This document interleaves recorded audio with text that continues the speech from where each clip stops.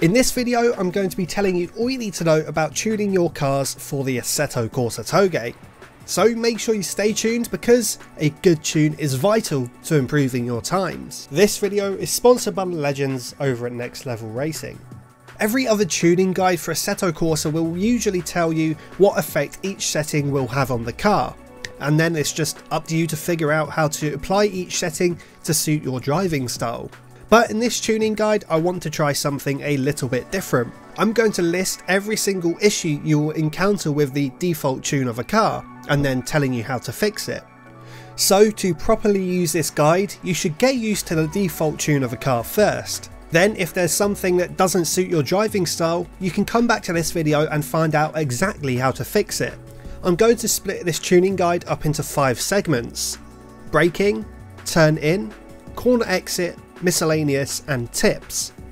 So for example, if you feel as though your car isn't performing well on the exit of corners, you can load up this video and go to the corner exit segment to find out exactly how to fix it. This video was heavily inspired by Chris Haye's tuning guide and I want to condense it into an easy to digest package, so if you somehow haven't heard of Chris's channel, go and check him out. Up first is braking. Under braking, if you experience loss of control, you should either move your brake bias forward, decrease the slow damper. If your front tyres lock often, you should move your brake bias backwards. If your car pitches too much, you should stiffen the front springs. If the nose of the car hits the floor, you should increase the ride height, adjust bump stops, stiffen the front springs. If your wheels excessively lock, you should reduce overall brake pressure, but use this with caution. Next is turn in. If you understeer at all speeds, you should adjust front tyre pressures, soften front anti-roll bar, increase front toe out, decrease diff coasting lock, soften the front springs.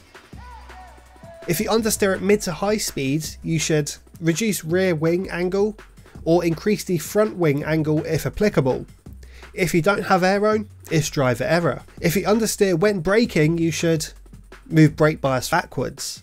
If you oversteer at all speeds, you should adjust rear tyre pressures, stiffen front anti-roll bar, decrease front toe out, stiffen the front springs. If you oversteer at mid to high speeds, you should increase rear wing angle or decrease front wing angle. Again, if you don't have aero, the issue is in the chair. If you experience lift off oversteer, you should increase diff coast locking. Up next is corner exit. If you understeer on corner exit, you should stiffen rear anti-roll bar, increase diff power locking, stiffen rear springs.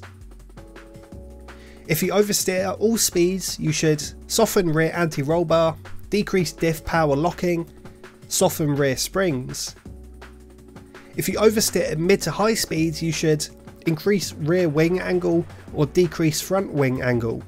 Once again, if you have no aero, the issue is with you. If you have lift off oversteer on a corner exit, the issue is again in the chair, not in the car. Up next is miscellaneous. If your tyres overheat all over, you should increase tyre pressures, decrease toe value. If your tyres overheat on the inside edge, you should reduce negative camber. If your tyres overheat on the outer edge, you should increase negative camber. If your tyres overheat in the middle, you should reduce tyre pressures. If your tyres are cold all over, decrease tyre pressures and increase toe value. If the car is edgy during weight transfer when braking, accelerating and turning, you should decrease slow damper settings. If the car is edgy during weight transfer over bumps, you should decrease fast damper settings. If your car has a low top speed, you should either reduce wing angles, lengthen gear ratios, if your car bounces during weight transfer when accelerating, braking and turning, you should increase slow damper settings. If your car bounces during weight transfer on bumps and curbs, you should increase fast damper settings. Up next is tips. Ride height. Your ride height should be as low to the ground as possible, but avoid grounding the car or stalling the aero. Dampers. Bump setting should be lower than the corresponding rebound setting. Try to use the lowest setting that avoids oscillation or bounding. Dampers can be used to tune the responsiveness of the car. High values equals more responsive, low values equal more stable. Aero. Use ride height and rake to generate as much downforce as possible. Then trim the aero balance using the wings or splitter. Increasing the rake moves the aero balance backwards. Run the car as stiff as needed to maintain stable ride height. Brake bias.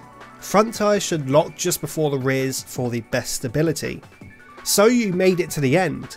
Hopefully by this point you should have a perfectly tuned car, but if not, don't worry. Getting the perfect tune that suits your driving style is a tedious process that requires a lot of fiddling. If you change one setting, it's likely that something else will be out of whack. Therefore, you should only change one setting at a time, then test it. If it works, keep it, if not, revert the change. If you find it impossible to create the perfect tune, don't worry. People spend hours on this stuff. You can always Google the car you're using and the track with tunes after it to see if anyone else has made tunes for it. This usually works. You can install any tunes you find online by dropping them in Documents, Assetto Corsa, Setups, then the car and then the track. If you found this video helpful, please feel free to drop a like and let me know what you thought in the comments. If you're new around here, subscribe for more Assetto Corsa Touge tutorials. Thanks for watching and I'll see you in the next one. Cheers.